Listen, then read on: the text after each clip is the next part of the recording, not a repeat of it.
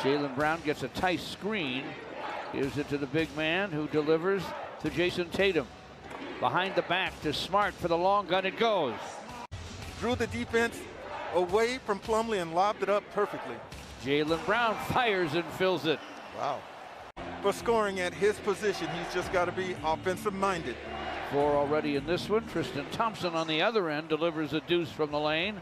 With a pair, that means everybody on the floor for the Pistons are threats to score, and they all have scored. Tatum, a major threat for the Celtics, rips the net with that jumper.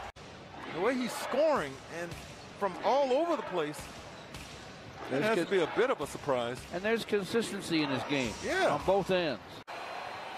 Killian Hayes' cross-court pass flicked away by Williams. Rising and gunning from the sideline is Tatum.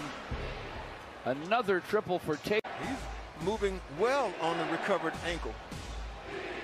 Marcus Smart to the paint. Sends it, scores it. And they trust Theis with the shot. Yep.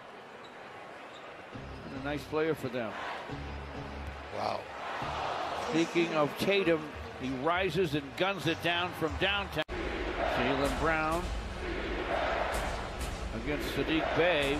Takes his time, dishes it deep inside. Two consecutive MVP awards on Marcus Smart with a basketball. Drives it, powers it up. No, but he took a hit on the way. Don't miss a minute of your Pistons. Just download the Fox Sports Go app on your mobile device and stream the Pistons live from anywhere.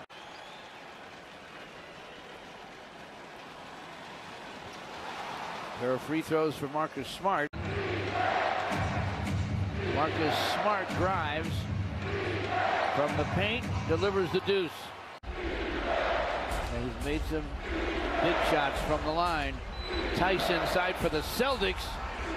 Through contact, able to score and draw a foul. Outside of Tristan Thompson, hands to Marcus Smart, at seven. Smart with a powerful drive.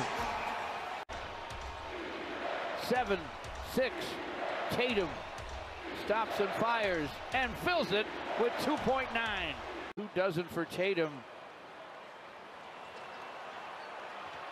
Blake Griffin tried to get up a shot from downtown.